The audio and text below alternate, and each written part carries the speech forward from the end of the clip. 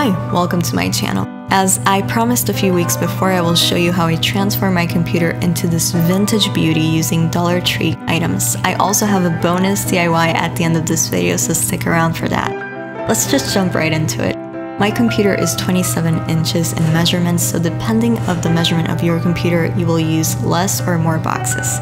I used a total of 42 boxes and I'm only using the inside of the box.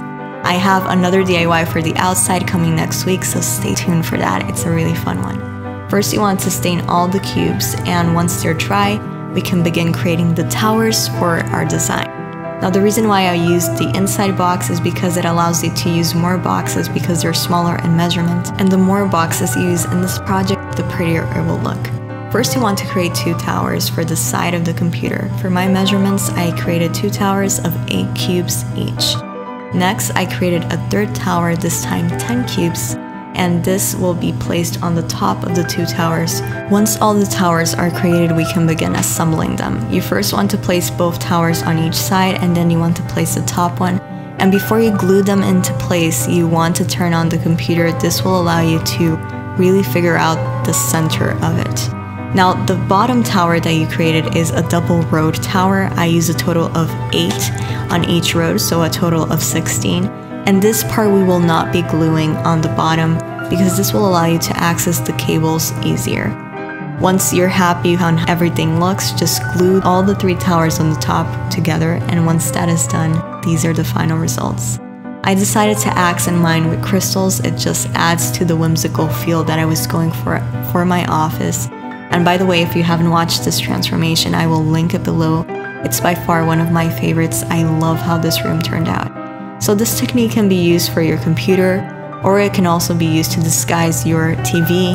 It all depends on the measurements and playing around with these boxes, but regardless, I absolutely love how this turned out and I couldn't be happier.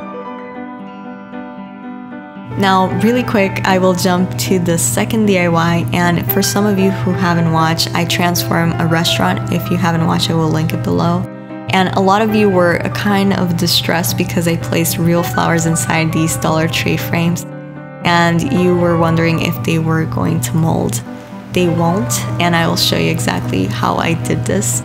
Basically, I didn't have enough time to press these flowers so I could create the collage that I wanted. So I went ahead and I used this technique that allows you to instantly use the flower in a frame. Basically, you want to take a piece of paper and you want to add your cut flower on top, and then you want to use another piece of paper, and then you want to grab your clothing iron and you want to press the flower down. Essentially, what you're doing is extracting the water from the flower, and you just want to be patient with it. And the key for this technique is to be very, very diligent and to extract completely the water from the flower. The paper will also help absorb it. And that way you can use it in your frame. It will look vivid, but um, give it a few days and it will look like it was pressed. And this is the quickest way of pressing a flower and using it in a project without them molding. So if you didn't know this technique, I highly recommend it if you are in a rushed situation like I was, but I still do recommend you using the traditional technique. The flower looks a lot better that way.